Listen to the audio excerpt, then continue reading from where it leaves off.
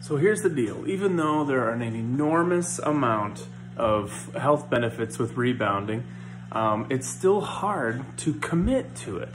Uh, I, I find that this thing makes me feel good. I feel great when I'm doing it, and I, I still bounce every day for, you know, five to 10 minutes, but not really intentional, hardcore every single day to lose weight, to feel really good all the time. And so I need your help. I need some accountability to make sure that I get on this thing every single day and do a really good workout. So for the next 30 days, I'm gonna be going, well, in 30 days, I'm gonna be going to Florida and I wanna look good and I wanna feel good. So I'm gonna go ahead and do a 30 day challenge for you and it's gonna be every single day. I'm gonna try to do my full routine every single day.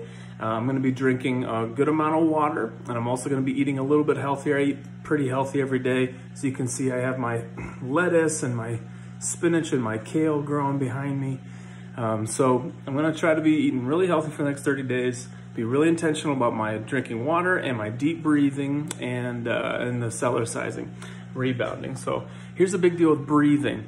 Um, it was funny, my nutritionist says, uh, which, what's the most important thing to do for your health? And uh, I said, well, I'm not really sure. He said, well, breathing. That's the thing that you can't go the longest without. Well, what's the second most important thing? Well, water. Getting the right amount of water and the right times. Uh, see, I used to drink water a lot during lunch. But what that water does is it dilutes your stomach acid, so it's hard for your stomach to break down the food. So, 30 day challenge, a lot of deep breathing. I'm gonna try to do five minutes of deep breathing five times a day. Um, when I do that, my body becomes very alkaline. My joints do start feeling better, especially if I'm rebounding.